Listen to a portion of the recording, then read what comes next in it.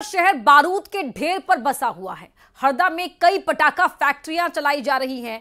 News 18 ने ऐसी ही एक और अवैध फैक्ट्री को ढूंढ निकाला और बता दें आपको कि जहाँ विस्फोट हुआ था, उन्हीं फैक्ट्री के मालिकों की ये दूसरी फैक्ट्री भी है। घटनास्थल से दो किलोमीटर के दूर पर है ये दूसरी फैक्ट्री जो यहाँ पर अवैध तरीके से ये भी चलाई जा रही है। मौके पर बम और बारूद का जखीरा यहाँ से मिला है, जिन्हें आप तस्वीरों में भी देख पा रहे हैं।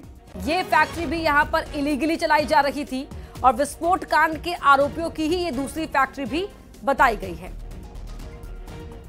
तो जहाँ पर विस्फोट हुआ, वहाँ से दो किलोमीटर की दूरी पर है। अभी भी सुलग रही है, लेकिन हम अभी उसी रोड पर एक किलोमीटर आगे हैं, जहाँ पर एक दूसरी फैक्ट्री आप देखिए किस तरह बारूद यहाँ पर आपको दिखाई दे रहा है? ये रस्सी बम बनाने का काम यह चलता था? ये पूरी फैक्ट्री इलीगल तरीके से चल रही थी। आप देखिए, यहाँ पर रस्सी नज़र आ रही है। किस तरीके से यहाँ पर रस्सी बम बनाने का काम चलता था? और ये देखिए आप यहाँ पर, ये किस तरह यहाँ पर बारूद है, पटाखों की सारी सामग्री है।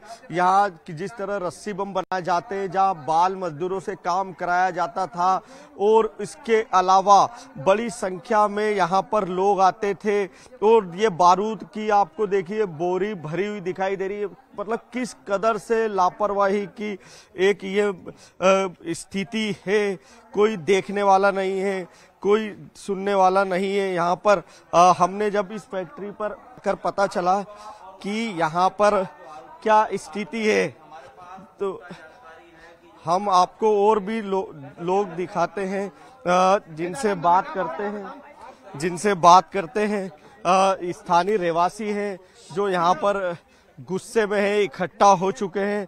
ये बता रहे हैं कि यहाँ पर जो फैक्ट्री के जो लोग थे, सब कल से घटना के बाद काम छोड़कर भाग चुके हैं। ये देखिए आपको, ये यहाँ पर किस तरह रस्सी बम बनाए जाते हैं, ये पूरी सुतली बम जो आपको दिखाई दे रहे हैं, ये सारा यहाँ पर यहाँ पर इन्हें रंग करने के बाद हरे रंग में यहाँ पर रखा जाता है। ये देखिए, ये डब्बी लपटाई यहाँ पर ये पूरी फैक्ट्री अभी सब लोग काम करने वाले से भाग चुके हैं कोई दूर तक नज़र नहीं आ रहा है। और यह फैक्ट्री भी उसी व्यक्ति की है जिसने पटाखा फैक्ट्री को जो विस्फोट हुआ है। हम आपको दिखाते हैं, देखिए लाइसेंस नंबर, ये लिखा है लाइसेंस लाइसेंसदारी सोमेश नंदलाल अग्रवाल। स्टॉक रूम में इसकी क्षमता है 1500 किलोग्राम। तो ये वो फैक्ट्री है जहाँ कितनी बड़ी मात्रा में टनों से माल भरा है, बारूद ही बारूद है। यही वो आरोपी है जिसे कल पुलिस ने गिरफ़्तार किया है, जिसकी फैक्ट्री में इतना बड़ा कांड हुआ। उसके बाद इस फैक्ट्री पे कोई देखने वाला नहीं है और कोई सुनने वाला नहीं है। देखिए, चारों तरफ़ बारूद का स्टॉक ही स्टॉक नज़र आ रहा है। ये देखिए आप, ये पूरे सुतली बम यहाँ पर सूखते हुए दिखा रहे सब बारूद है इसके अंदर ये जान लेवा है। और यहाँ पर देखिए आपको यहाँ पर वो रंग, रंग सब चारों तरफ़ रस्सी बम ही रस्सी बम है।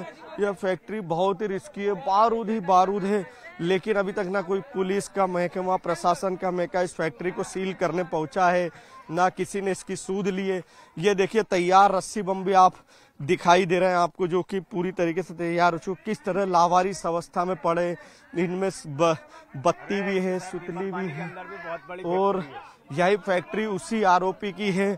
स्थानीय लोगों में भी बहुत गुस्सा है कि आखिर इसको इतने लाइसेंस की मंजूरी और बड़ी खबर आपको यहाँ बता रहे हैं, हरदा के एसपी को हटा दिया गया है। ये एक्शन हुआ है, हरदा कांड में बड़ा एक्शन बड़ी कार्रवाई हुई है। एसपी को हटा दिया गया है। इस वक्त की ये बड़ी खबर, न्यूज़ 18 मध्य प्रदेश, छत्तीसगढ़ पर ये बड़ी अपडेट आपको बता रहे हैं। बड़ा एक्शन हुआ है। पुलिस हेडक्वार्टर में अटैच किया गया है। हरदा के एसपी को हटाकर पुलिस हेडक्वार्टर में अटैच एसपी को माफ़ कीजिएगा, हटाया गया है। ये बड़ी खबर आपको बता रहे हैं।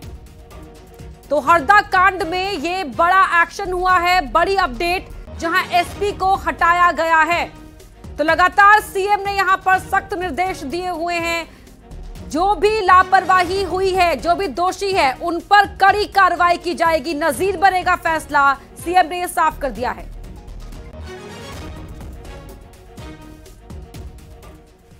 तो हरदा हादसे के बाद न्यूज़ 18 की टीम ने घटनास्थल के पास जाँच की तो घटनास्थल से दो किलोमीटर आगे रहेटा खुर्द में एक ऐसी ही फैक्ट्री मिली। यहाँ पर काम करने वाले मजदूर भाग गए। वहीं एक मजदूर ने बातचीत में कहा कि धमाके के चलते वो दहशत में हैं। करीब 100 मजदूर यहाँ काम करते हैं, जो सभी काम छोड़कर चले गए हैं, लेकिन कई एकड़ में बारूद और बॉम्ब फैला हुआ है।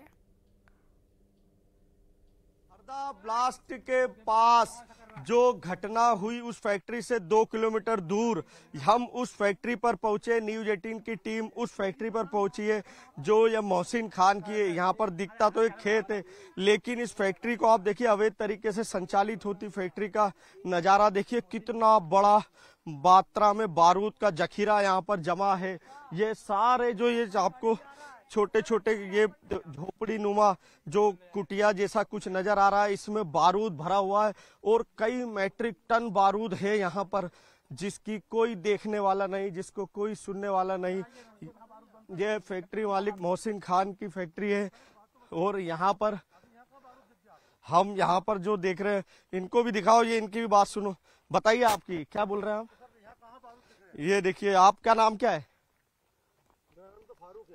तो ये फारूक है बता रहे हैं कि यहाँ कोई बारूद नहीं है। ये फैक्ट्री किसकी है ये? बताइए तो मोहसिन की मोहसिन की। तो यहाँ क्या स्थिति है? फैक्ट्री के लोग कहाँ हैं यहाँ बताइए सर कुछ है क्या? बताइए यहाँ पर ये बारूद वगैरह दिख रहा है ये चल के दिखाइए ये क्या है यहाँ पर ये? खाली है सब खाली है सर अच्छा ये खाली है। यहाँ पर फारूक बता रहे हैं कि ये कोई बारूद का जखीरा नहीं है सब खाली है यहाँ पर। फैक्ट्री मालिक कहाँ है?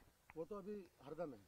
अच्छा ये घटना हुई कल परसों या कोई कल और आज में आया कोई प्रशासन ने? कितना स्टॉक है? तो क्या कहना है उनका? प्रशासन ने देखा करा कि अभी कुछ भी नहीं है सब खाली आप भी देख सकते हैं कोई दिक्कत नहीं है। तो ये फैक्ट्री कब से बंद हुई? कल से सब मजदूर चले गए कि हमारा काम जैसे दस पंद्रह बीस लोग कर रहे थे। दस पंद्रह बीस लोग कर रहे थे।